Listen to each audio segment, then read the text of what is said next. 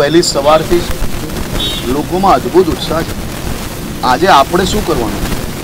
આજે આપણે સૌ લોકોએ આપણા ભવિષ્ય ઉજ્જવલ કરવા માટે આપણો હક સંપૂર્ણ ઉપયોગ કરવાનો છે.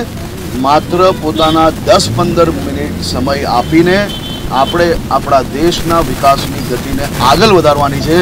મારી સૌ ગુજરાતીઓને વિનંતી છે ગુજરાતના સૌ નાગરિકોને વિનંતી છે બે હાથ જોડીને વિનંતી કરું છું કે આજે મતદાનનો ઉપયોગ જરૂરથી કરજો વધુમાં વધુ મતદાન કરજો. આપણે ગુજરાતના નાગરિકો એ જાગૃત નાગરિક છે એનું અવશ્ય આજે સૌ લોકો આગળ વધારશો અને મને વિશ્વાસ છે કે વધુમાં વધુ મતદાન આજે થશે.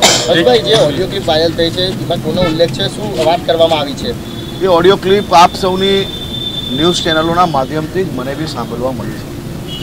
એમાં ખાસ કરીને જે ન્યૂઝ ચેનલનું કેવું છે, એ પ્રકારે કોઈક મૌલવી અને કોઈ કોંગ્રેસના નેતાની વાતચીત થઈ રહી છે. અને એમાં ખાસ વર્ણન કરવામાં આવે છે કે કોંગ્રેસ કે અસલમભાઈ સે બાત હુઈ વકીલ કી વ્યવસ્થા કરકે જામીન કી વ્યવસ્થા હો. આ ખૂબ દુઃખનો વિષય છે. તમારી ચેનલોના માધ્યમથી મને આ સાંભળવા મળ્યું. અને આપ સૌ લોકોએ બી જોયું છે. આ પ્રકારના લોકોને છોડાવવા માટે આપણે કોઈ બી પ્રકારની મદદ ના કરવી. રાજનીતિના તો અનેક અવસરો પ્રાપ્ત થશે. રાજનીતિની ટીકા ટિપ્પણીઓ ચાલતી જ રહેશે.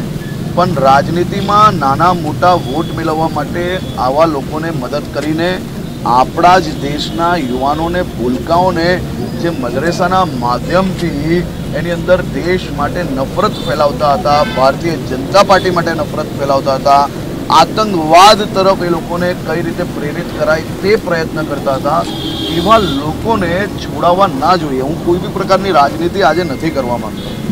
પરંતુ મારું એ સો ટકા માનવું છે કે કોંગ્રેસ અને કોંગ્રેસના નેતાઓને ખાસ કરીને વિનંતી છે, આપણે રાજનીતિના અનેક અવસરો મળશે. પરંતુ દેશહિત અને રાજ્યની સુરક્ષાના વિષયોની અંદર આપણે આ પ્રકારનું કાર્ય ના કરવું જોઈએ. બે હાથ જોડીને હું વિનંતી કરું છું.